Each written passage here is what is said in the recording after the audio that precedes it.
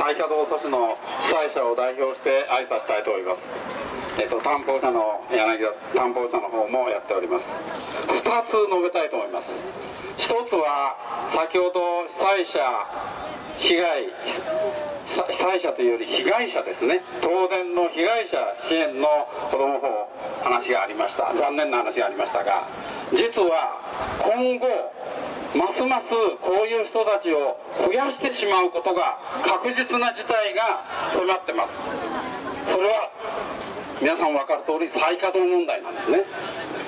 そういう点で私は再稼働を今防ぐのが最も大きい一つの課題だと思います。電力会社も政府も今全力でやってることはこの再稼働に向けてのいろんなことなんですよ。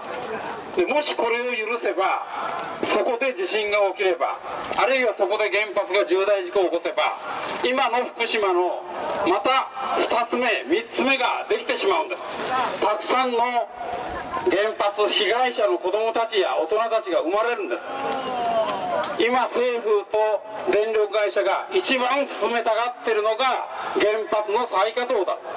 これを阻止することに一番全力を挙げたい。これが私ども再稼働阻止ネットの一番の目的であります。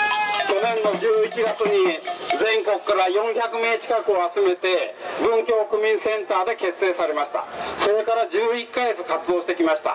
多くの人たちがだんだん結集してそしてあさっての時には私ども再稼働阻止ネットの仲間の皆さんがこの東京にほぼほぼ全部来ます。北海道からも来ます。福井大井原発からも来ます。伊方四国の伊方からも来ます。九州の鹿児島仙台そして限界からも来ます。全国から再稼働の現地の皆さんが再稼働が迫ることに大きな危機感を持って全部結集します。それが13日ですね。に原発現地の皆さんの心情をちょっと考えてください。原発現地の皆さんの心情はとても複雑なんです。例えば伊方の佐今さん現地でもう20年反対運動されてます。毎月11回原発現地の前で座り込みしてます。去年の1月に止まったんでこの1年と10ヶ月は非常に心が安らかだったそうです。つまり原発事故が起きない。放射能も起きない。したがって海も非常にきれいになる。自然も戻ってくる。とても心穏やかに過ごしていた。ところが新聞を見るたびに四国電力伊方が再稼働のどうもトップグループだと。あと何ヶ月後に動くと。再稼働すると。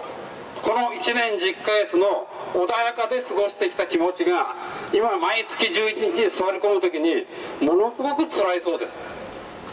そんな原発の電気に経済を頼りたくない。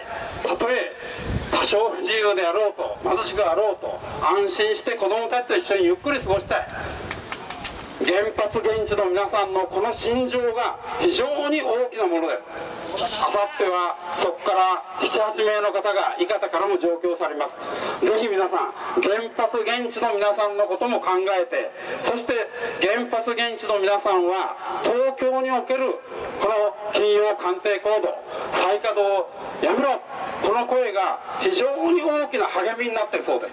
そういう点で私たちは京都そして13日原発現地の皆さんのこの心情を思いやるそういう点で再稼働を阻止するこの一点。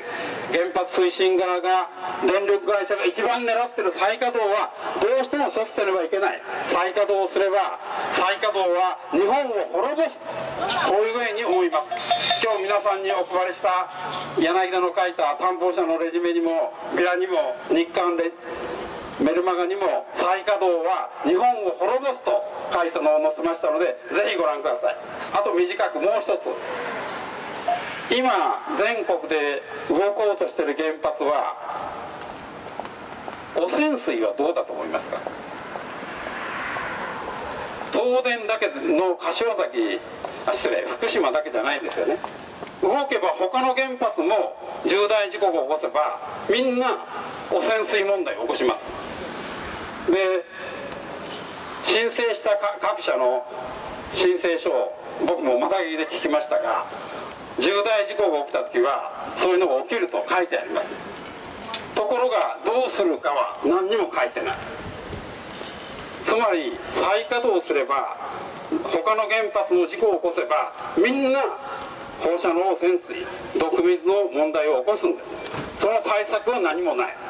それを今の規制委員会はトンと合格のハンコを押してあと何ヶ月後に動かそうとしてるんですね。そういう点で私たちはこの規制が新しい安全神話の作り主になってきてる。点で規制に対してもそして東京電力に対しても抗議の声を続けていきたいなこういうふうに思います。再稼働は国を滅ぼす。そしてどの原発も汚染水問題を起こすとこの2点を訴えて皆さんと一緒に頑張りましょう。ありがとうございます。ありがとうございました、えー